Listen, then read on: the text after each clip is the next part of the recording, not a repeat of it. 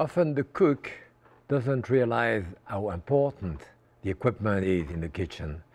It is imperative that you select the right skillet. In addition to non-stick pan, there are aluminum, stainless steel, copper, cast iron, etc.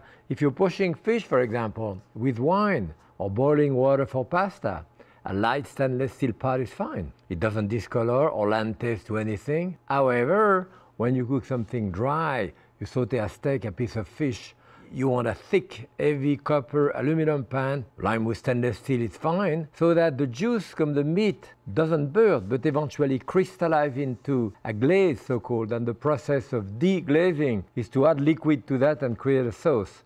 So good equipment is essential.